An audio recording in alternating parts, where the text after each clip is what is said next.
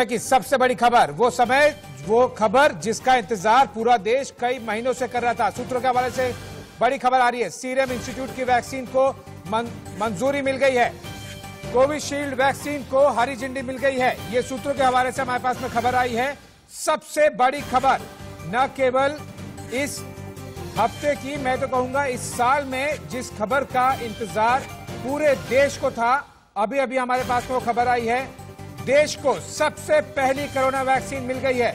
इंतज़ार हो रहा था कि सीरम इंस्टीट्यूट की जो वैक्सीन है वैक्सीन है कोविशील्ड, उसे उसके डेटा सबमिट किए गए थे और अब सरकार ने उसे मंजूरी दे दी है। अब बड़ा सवाल ये होगा कि किस तरह से उसका वैक्सीन डिस्ट्रीब्यूशन, जो कि हम बात भी कर रहे थे, किस तरह से वैक्सीन डिस्ट्रीब्यूशन होगा, किस तरह से, किस एज ग्रुप को प्रायोरिटी लिस्ट में कौन होगा, ये सब कुछ सरकार की तरफ़ से अब जल्द अनाउंसमेंट किया जाएगा।